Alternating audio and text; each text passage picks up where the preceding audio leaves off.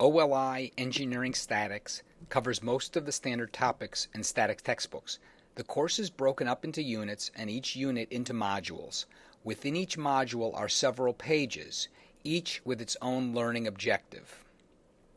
The first few units of OLI Engineering Statics covers the material in textbooks through equilibrium of a single body, but the sequence differs from textbooks. In OLI Engineering Statics, our philosophy is that students should start studying statics with simple bodies that they can hold, or at least bodies on which the forces are simple. Take, for example, this L shaped member, and say it were supported by fingers or by cords at different points. The interactions can all be modeled simply as point forces. Students should learn to apply statics to such bodies before they deal with the complexities of engineering connections such as pin joints.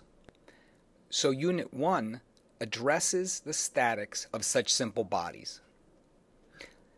Unit 2 introduces the couple, static equivalence, and finally, how to represent the interactions at engineering connections. We cover the standard 2D engineering connections treated in textbooks, showing how they appear in real artifacts and how they are represented. Unit 3 then has students apply equilibrium to systems with engineering connections when only a single subsystem needs to be analyzed. The remaining units cover material in more or less a traditional sequence, with frames and machines, trusses, friction, and moments of inertia.